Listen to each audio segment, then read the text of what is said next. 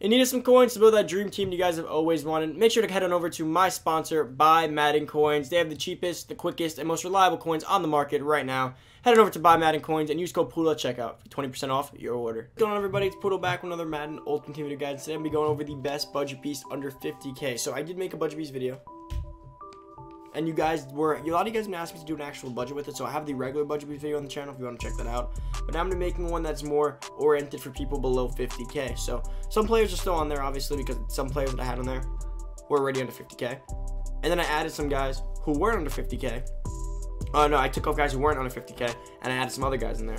So this is more like for real budget. So the other one was more like a budget. The other one was more based within 100k. I feel like anything under 100k is very budgety. This one's like very budget for guys who are working on like 300k. You they just build an entire team, or like you only got like 20, 30k, 50k, anywhere between this. This is like complete, completely under 50k.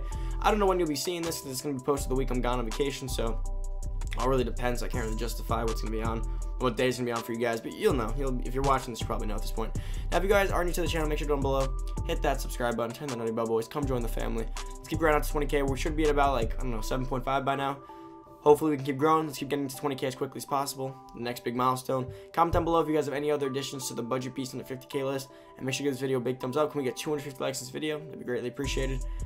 Now let's start the list. So Coming in at number 10. Now, this isn't really in any order, guys. I mean, I just say them and I just pick 10 players, so it sounds like that, but there's not really any order to this. Sometimes there is, but this one, not so much. It's under 50k. I'm kind of just fitting in the best players I think you should have. So coming in at number one is going to be, oh, number 10 is Danielle Hunter.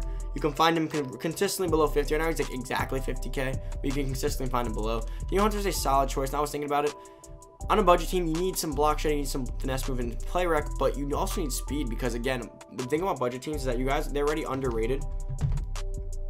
Well, not underrated as in like they're better than they, they say they are. It's more like these cards are already like below the ratings of the teams you're gonna be playing, so you definitely need to have speed to keep up with players. And if you have too low of speed at end, right now with stretch and everything, you're gonna be really screwed. And especially even if you get passed on a scrimmage with you, they, they don't shed quick enough because they're budget players. So if they have slow speed and uh, lower finesse move and block shed, they're not going to be able to get back there. At least even by the time Danielle Hunter gets uh, shedded, he still has enough speed to still get to the quarterback and still chase him down even with the escape artist. So I think Danielle Hunter is definitely a solid number 10 choice.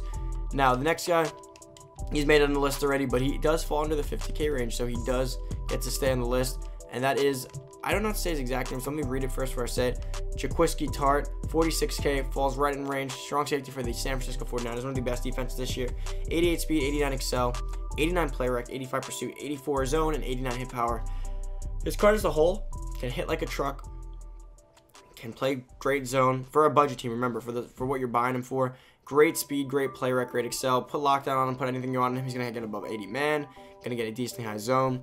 Gonna get good excel, good play rec, good speed. He can do it all. He's like the jack of all trades. Not great at anything, but good at everything. That's kind of why I like that card. Next, another guy that's been consistently below 50k, and I'm happy he is because I think he's a great addition to any budget squad at the end spot. And that's gonna be Aaron Donald. 39k falls right right in the range of what you need, even a little bit cheaper than 50k just all around. Like I don't I gotta talk about it anymore. Put the right chems and put the right chems in him. You can even power him up on a budget team because he is power upable. So this card powered up and chemmed up can easily get above 90 power move, close 90 block shed, above 90 play rec, above 90 strength. He's super strong. He can play rec, he can block shed, he can stop the run, he can pass rush, and he has future potential if you keep upgrading your budget team. You can always use your power pass to get the next one. Plenty of potential with that card. So that's the other thing with a budget team. You want to be efficient with your coins, and nothing's more efficient than having a card that can be powered up. You can use a power pass on to save you some coins, especially considering he's not too expensive. Next one's going to be Khalil Mack. Falls again right in the 50k range. He should be somewhere here. 40k, perfect. He could do it all again. He's he's basically Aaron Donald. A little bit more athletic, not as great as a um, stuffer, but a little more athletic. But he is a left side linebacker, so still decent athleticism off the edge.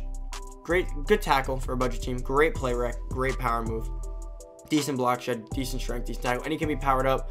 And again, he does have a kickoff card that you can power pass. So talk about efficiency once again with those two. Next one is going to be a guy that did stay on the list as well. That's Jaire Alexander. 46k for him. The 50k is a little bit high. Usually you find him for like 38 to 45k depending. This card's a beast. I love this Jaire Alexander. 89 speed, 89 excel, 90 agility. That's huge. Agility, speed, and excel is huge because if, if it, it doesn't matter how good your zone and man is and your press is. If you have no speed, no excel, no agility, like one of those veteran cards, you can only stay locked onto someone if you can keep up with them. So like if you can't keep up with them or follow their routes, what's the point of having good coverage stats because you're not going to be able to cover them because you're not on them. So gonna be really good athletic, great press by the way. So you put lockdown on him and you max out lockdown on him and you have like John Madden uh, pass the anything like that, he will get above 90 press. You're gonna be able to lock people up with the line while keeping up with them speed wise, and your man with lockdown is gonna get to like an 88 as well. So I think this Jaire Alexander is a great option at cornerback. He definitely stays on the list because he's a solid, solid cornerback. Next, we got a lineman. I haven't put lineman on here yet. I was thinking about it. I definitely need to add some more linemen here because I'm really you need alignment on the budget team. Now Andrew Whitworth falls within the 50k range just as remember to always filter these guys out by the way more than I'm doing because you'll probably find a better price.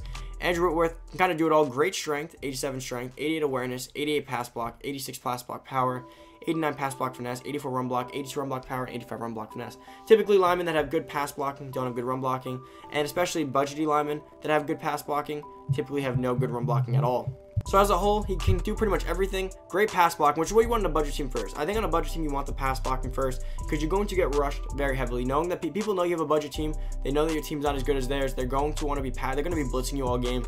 So you definitely want to lock up the pass block because if you can't pat, first off, your run game's not going to be super strong just because you're not going to have the greatest players against other people. But even if you're good at passing, if you can't pass block, you're never going to have to. Like, this year is already the year of the pass rush. So if you have no good pass blockers, you're just to get destroyed. They're to they're gonna blitz you instantly. Okay, right past line of scrimmage. So if you have at least a decent pass blocker to give you some time, and they start respecting your pass game, then you can run a little bit more. But if they can destroy your pass all game, and they can just blitz you, they're also going to stop your run. It just there's no getting. They're going to be in a hole. So you definitely need to pick up some good um, some good pass blockers and some good run by. He can do a little bit of both. That's the beauty of him. You're not sacrificing your running on the left side with him, especially on a budget team. That's going to be pretty much what you get for most players, anyways. Next is John Ross, who's been staying on this list for quite a while. Redux John Ross, 33k, still a great price. 94 speed, 85 jumping, 81 catching. All that matters here is the 84 deep route running, 94 speed, and the 81 catching. That's all that really matters here. And his acceleration is 92. And he actually has a good juke and spin. He has 86 spin, 94 juke move. If you're really feeling ballsy on this guy, you can put zone run on him. If you uh, you can put zone run on him, you could probably get him to like a 97, 96 juke move. If you have John Madden rushing, if you have John Madden rushing on your team and you have zone run on him, you could probably get him to like a 98 juke move. Gonna be one of the best jukers in Madden, as well as having that speed.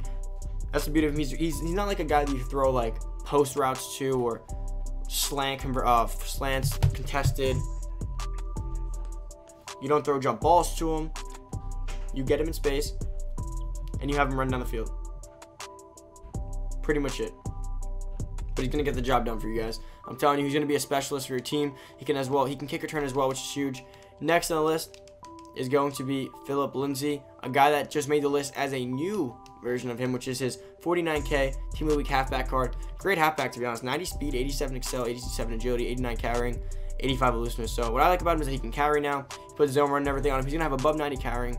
He's gonna have above 90 speed, and you can power him up, so you can get him a little bit higher. And you can even get him to a 91 speed, which is a great option. Gonna be a great budget bay, uh, great budget back in general. Next, a new guy that I just added because it's under 50k, and I feel like you need maybe one more pass rusher on this list.